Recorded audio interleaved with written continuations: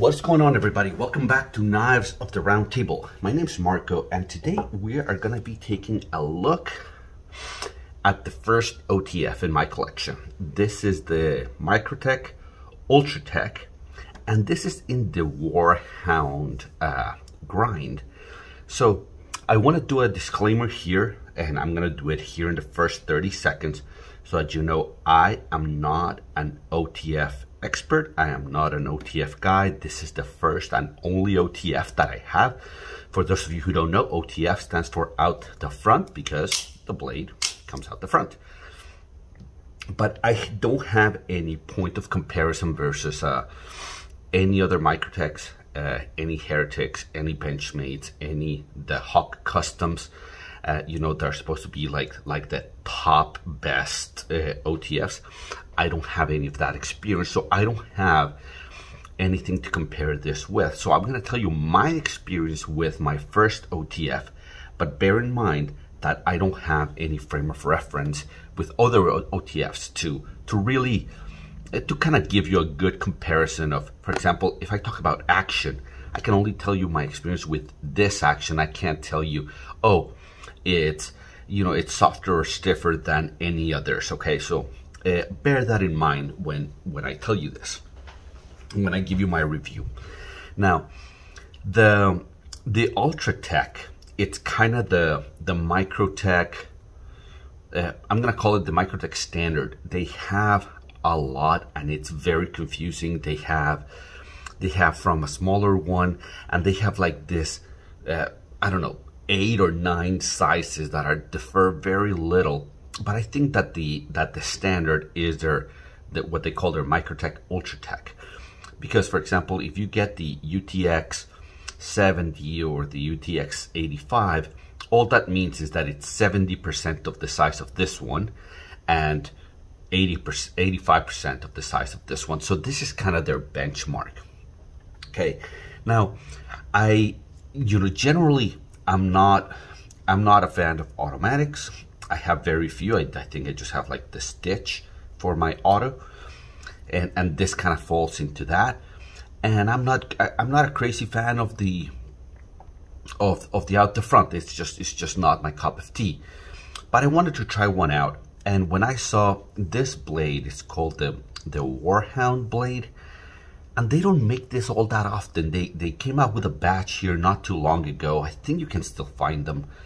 But you know, it's usually the Hellhound blade and you know their double-edged kind of spear points and and, and those didn't really appeal to me. This blade uh, was was much more appealing to me, and I there's a there's a custom folding version of this blade that I would love to get my hands on, but they're super expensive and super rare. So that's what this, that's how I came about to purchasing this because uh, I was drawn to, to this blade shape.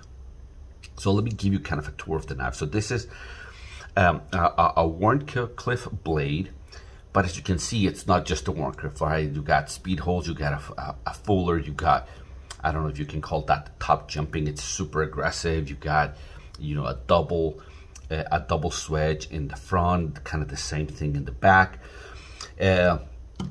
Microtech logo right here. The, the switch or the deployment is out on the side and you get a very traditional Microtech uh, pocket clip with a glass breaker in the back. So that's kind of the tour of the knife. Now let me give you uh, some size comparisons. So this is, like I said, is kind of the Microtech standard, right? And here you can see that lengthwise is very much in the neighborhood of the Para 2. This is the Para 3, so it's a little bit longer than the Para 3. But one of the advantages uh, that I found is that this carries extremely well. This carries very nicely in the pocket because since it doesn't have to fold, it collapses into a very skinny, very, very compact size. You know, if you compare it to the carry profile of of the of the Para 2, yeah, it this is one of the things that kind of disappears in your pocket. It's also very thin, as you can see here, compared to the Para 2. So, so, so all the dimensions, you know, other than the length, you know, it's it just because it kind of hides the blade and the mechanism is is very much in line. It's it, it's very compact, okay. So it, it even carries better than the bug out probably not better than the mini bug out. The mini bug out is tiny. Uh, but I'm going to show you here, you know, in a, in in the folded version. So you can see it's longer while it's collapsed, right? While while it's uh, inside, but it's it's very much uh, you know it, it's it's thinner in this is this dimension. It, this one's a little bit fatter. Uh, here I'll I'll show you.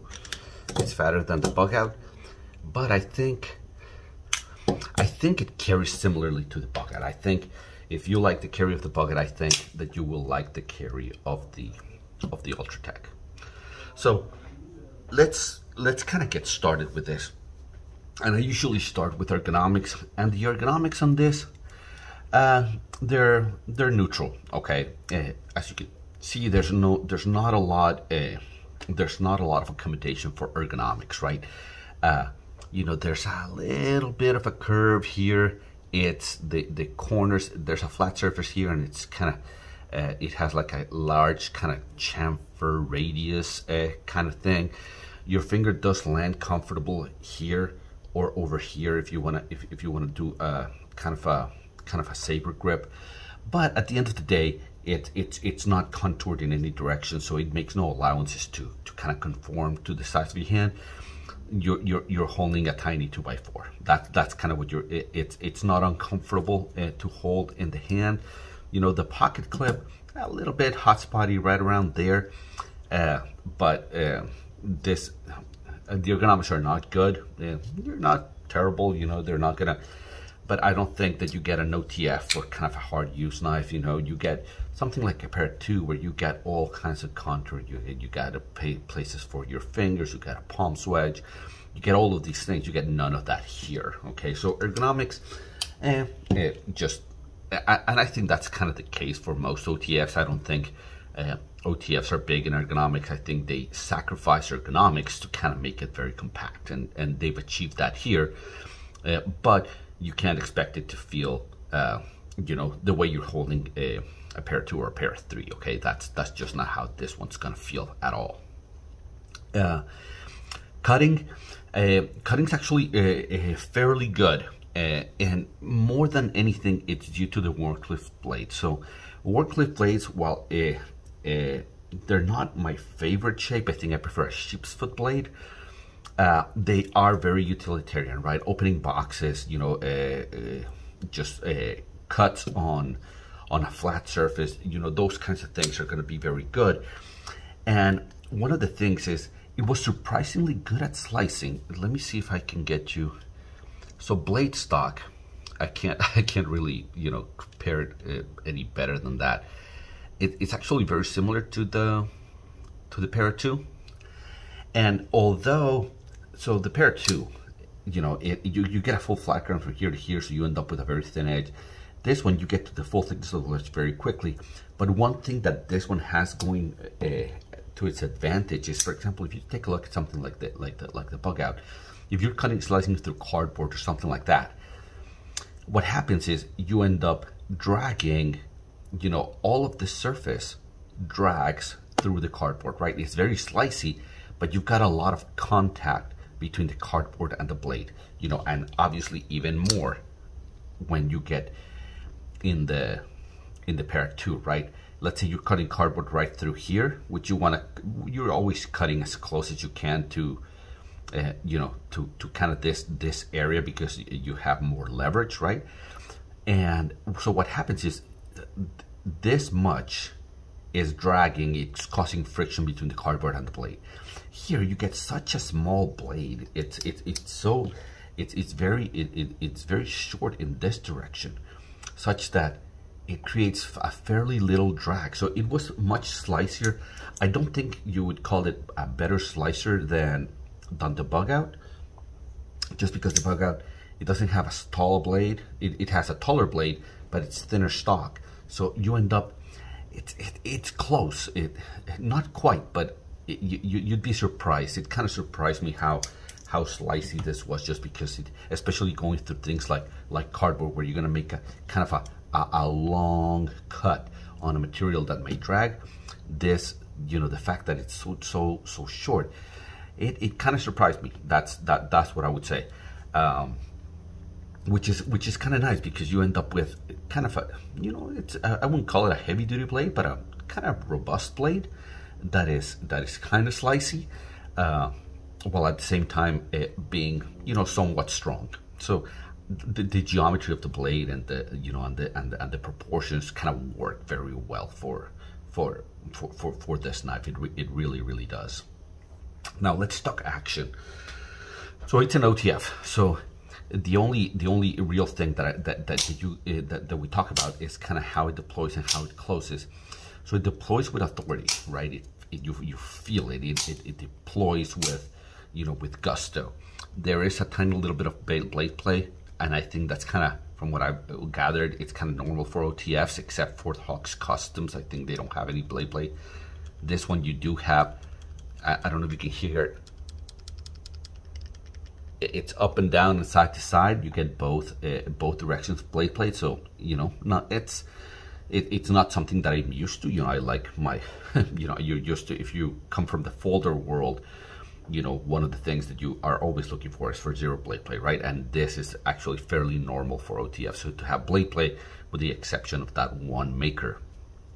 But what I was surprised it was about uh, how hard it was to deploy and to close. It it took uh, more force than I was expecting. And again, I don't have any point of comparison, but I can tell you from what I've seen, you know, you see people kind of going like that in, in, in their reviews. And after three or four cycles, you know, I'm, I'm kind of tired. I, it, it, it, it's not as, as, as easy or as smooth as I was expecting it to be in my mind okay? So just be aware that if you're getting going after your first OTF, I I think it was, and I don't know if you know if you have to have it for you know I've had this, I don't know four four to six months. I haven't carried it. Um, uh, probably I've carried it probably uh, three weeks total or so or thereabouts. So maybe it breaks in. I don't know. Uh, I can't tell you about that. Uh, but I can't tell you that it felt uh, much that the that overcoming that you, you move it and it gets to, it hits kind of a wall you know if, you, if you're used to uh, to handguns you know a pistol or a revolver you know you get to a wall and then you break the wall and you get over it. It's it's fairly stiff to get there. You know for example I my my son is uh, he's kind of getting into the uh, he's gotten into the hobby. He's been about for for about a year. Uh, you know but uh, you know he he kind of has to grab it with kind of both hands and kind of push with both his fingers you know to, to kind of get it there. So it, you know that kind of thing so just be aware that you know from the action standpoint it does deploy you know like i said with authority it's it, when it does deploy when it deploys it's satisfying but it takes more kind of force than than what I'm used to. Like if you see my finger, you know, that's that's at rest and you can see how it becomes white as I'm as I'm trying to to apply force to get it to get it in. You know, it's just it's it's quite a bit. Uh, next, uh, let's talk about fit and finish. So I think that the blade is a gorgeous blade. I think the you know it's it's a heavy stone wash. Uh, you've got this what's called a warhound blade and I, I, I like the shape I think it looks like a bat out of hell you know it just looks badass it, in, in Nick Shabazz' lingo very murder, uh, murdery uh, mur it has murderosity as he says uh, definitely uh, I mean especially in an OTF with that blade shape I think it, it's even more right uh, I think that that the finish of the blade, the you know, it came screaming sharp. They they'd actually do a, a, a pretty good job. It's M390. Uh, in case I haven't mentioned it, it's M390 blade, uh, and and I think overall the you know the feel of the of, of the handle, I think that the pocket clip, it the jimping here is very effective. I'm glad that it they have it's it's it's aggressive. Okay, you can feel it in your finger but I don't think you would be able to deploy it if it was any softer than what the, one they have here. I do like the, the kind of the Marfione logo here. Uh, so I think other than they haven't achieved the the, the blade play uh, that uh, Hawks Custom is, is supposed to have, you know, where they have zero blade play. They, you, you, you don't get that. And I'm gonna rattle it for you. Uh, there I'm doing like a circular motion. So, you know, not great. Uh, I'm not used to that. I think it's fairly common for, for OTFs, but just be aware that you will get blade play uh, even on a, I think this is like a, like 350 to 400 dollars or thereabouts. So it's not an inexpensive knife, and I, I mean, if if one maker has been able to achieve no blade play, I think, you know, maybe others should be able to achieve it as well. I uh, so that's uh, for fit and finish. Uh, now, airing of grievances. The blade play, as I've mentioned, I think it's fairly stiff to deploy and to close. Uh, and then you've got the proprietary hardware, and I just just hate when they do a proprietary hardware and then they sell you the, you know, the the, the they don't include the bit to uh, to kind of disassemble it, and then they charge you however many uh, dollars to get you know the proprietary. Uh, I, I, I hate that. I, I, I don't love that. So uh, you know, I'm I'm okay with proprietary hardware as long as they include the bit. You know uh, other than that, just put a Torx uh, screw on it. I'll uh, I'll be fine. I think this looks amazing, but the fact that you can't, you know, get in there and maintain it, and the problem is that you know when it's closed, you know, as you can imagine, this is the, the thing that goes in the bottom of your of your pocket. It's uh, it it, it, it, it just lint just begs to go in there, so you're gonna have to maintain this, and I can't do it right now because I don't have the the tool. So uh, I wish that Microtech would include it, you know, just a bit, just a bit. So you don't have to give me uh, a fancy pan or or a fancy screwdriver or anything like that. I'll use my own. Just give me the bit. Okay, that's that's what I would say. Well, guys, that's my review for the first and only uh, OTF in my collection. Hopefully you've enjoyed it. If you did, then like and subscribe. And until I see you at the next one, take care.